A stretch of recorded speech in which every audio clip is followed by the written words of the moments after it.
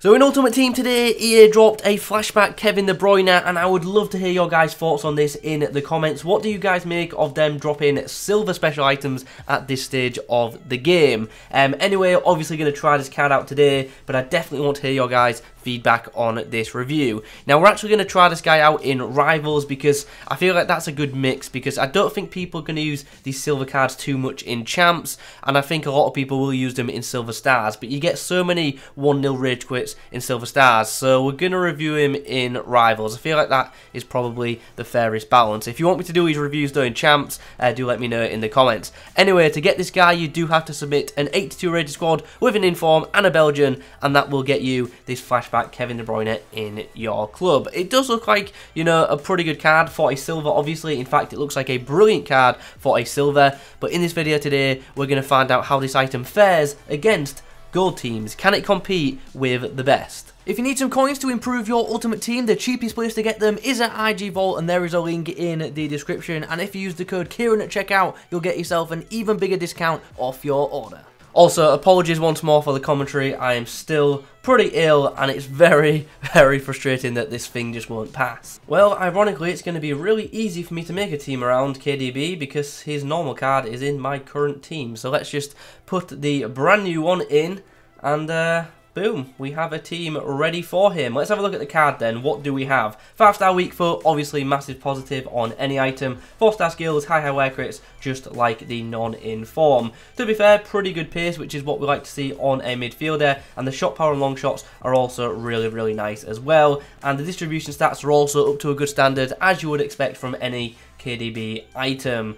Um, his dribbling also not too bad. High reactions of 89. Good ball control also of 89. And the physicals, they're pretty average overall to be fair. According to FUTBIN, Kevin De Bruyne is coming in at 25k and just before we talk about chem styles, here's just a quick comparison versus the normal version of him. So obviously, um, every area of this card is worse than the non-inform apart from the pace, which you know, is pretty pretty interesting. To be fair, versus the non-inform, the downgrades aren't actually as bad as I first thought, but obviously in some areas they are definitely noticeable. Like the dribbling is still not far off, to be honest, but the passing and shooting are quite significantly far off, and also in defending as well. So, yeah, there is that. With a basic though, you do actually get this card to be pretty high rated as you can see, and with other chem styles, you can also get some pretty good ratings. Artist, as you saw, um, sorry, Deadeye brings him up to 91, and I don't think you're going to get him too much higher than that. In terms of what you're going to put on him in-game, I'd probably recommend Engine just because of the dribbling boost that it does provide. Makes his pace really nice, and uh, brings his passing up a good amount too. Alright then, on De Bruyne's debut, he's ironically up against a 92 rated version of himself, so yeah, let's see how we get on. Chance to distribute, really, oh, oh, ooh, that ended up being a much better ball than it should have, but I feel like that's more down to the gameplay being weird than anything else. Renter finds KDB on the edge of the box, strikes and scores. What a great start for De Bruyne in the club. And following that goal, we got an instant rage quit. Well, that was quick. What do I rate De Bruyne after game one? 10 out of 10 because he touched the ball twice. One ended up being a good through ball, and the other touch ended up hitting the back of the net. But in all seriousness, yeah, nice goal, but other than that, uh, obviously not much of a test in that game. Swiftly into game two we go then, and this time hopefully we're going to get a bit more of a test, you know. Hopefully the game will last for more than two minutes. Let's do this. Right, let's switch player. Ball's whipped up to Kieran Trippier, who's going to get down the wing, whip the ball into the box, creates a good chance, but sadly not going to win that header against Marquinhos. Nice through ball there from the Belgian. Nice chance. Oh, he scored! How has that gone in? How has that actually gone in? What a great goal from De Bruyne And that is. Right into the corner, out of the keeper's reach. Love to see it. Oh, what a strike! What a strike. The lack of commentary there was down to just pure concentration. But what a goal. The guy is scoring bangers for me. He really, really is. Love to see it. Okay then, we reached the half-time mark and we are 3-1 to the good thanks to uh, two bangers from uh, De Bruyne. Nice left-footed pass. As a forward link up. Chance from distance. We'll go for it. Oh, what a strike. I mean, I'm scoring goals easier from outside the box than I am inside the box tonight. Just timing them to perfection. And following that strike, we get a nice rage quit. So, uh, yeah, we are just scoring bangers tonight. Love to see that. G3 then, and we are up against a midfield of David Silva and Icon Hagi. Nice. Let's go. Find that runner. Put it into Griezmann, who's going to slide it through for Origi, but sadly didn't control it as cleanly as we, we would have liked. Don't give him space on the edge of the box. Oh, he's, what is going on? Every long shot's going in. Like, that one shouldn't have. The keeper got his hands to it and he's still gone in the back of the net. I was literally about to say, don't give him space on the edge of the box, or he'll score. How has that actually gone in? How has his keeper not saved that? Oh, I mean, I just wish that didn't get blocked, because I bet it had gone in. Alright then, all square at the break at 1-1. Not a bad first 45 at all. Not far off. I mean, it's so tempting to take off a shot with him lately because everything just seems to be going in. Like, anytime I've got space, I'm like, you know what? It's time to shoot. Switch play, I think. Nice whipped through ball there into Rodrigo. Go for a cross very early on, get the header and take the lead. Really, really good move that. Very smooth attacking move. De Bruyne to the winger, the winger into the box, and the ball in the back of the net. Nice. Oh, I was going to say good defensive work, but the tackle, although the tackle is good, the ball unfortunately bounced to the opposition. Nice. He's onside. He's going to keep that in as well. Oh, that's a shame. If we just missed out that man, we had a free shot at goal.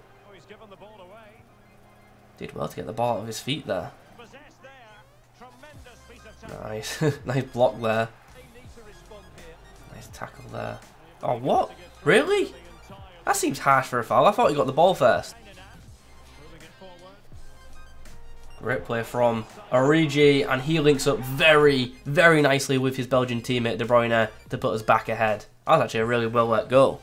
Alright, full time in this one. Unfortunately finished in a draw. I made a really, really stupid error with my goalkeeper, and it's completely my fault. It is what it is. Nonetheless, though, um, our silver midfielder, once again, had a pretty good game, finding the back of the net twice, and ending up being the star of the match out of both sides completely. So, yeah, doing pretty well. Okay then, a few games done with the Flashback KDB. What did we make of this 74 rated item? Well, as you can see, he's coming away with a pretty positive record. A record which a lot of uh, a lot of strikers, sorry, would be happy with. Obviously, no assists might be a bit concerning to some, but he was involved indirectly with a lot of goals, and you'll see that in the footage. So that's not something that bothers me too much that he didn't get any direct assists. But in the build-up to some of the other goals, as you saw in the footage, he was heavily involved. So I'm really, really happy with his record over the course of the games that he played. Um, so let's break things down. What did I make of this card? I'll say straight away, yeah, he can hold his own amongst gold items. Um, obviously, he comes with a 74 rating, which is that of a silver, but his in-game stats are definitely not that of a silver, and uh, we saw that especially when we spoke about chem styles at the start, with him having the stats of a 90 rated cam with a basic chem style on him. So, yeah, definitely has the stats of a gold, and you can definitely feel that in-game as well. So, what did we like about the item? Um, pace felt quite nice for a midfielder. Is he super rapid? No, but is he quick enough? Absolutely. Um, goal scoring ability was very good, especially from distance, and you saw that over and over and over again. I don't know what was going on tonight, but pretty much like 80% of the long shots I was taking were hitting the back of the net, which was just absurd. And um, passing obviously feels quite nice on this card. Is it, you know, elite top tier? No, but it's not far off either. He's got some really good passing stats, and with that combined with a 5-star weak foot, it does make him a very good passer of the ball. In regards to his dribbling, I like his ball control,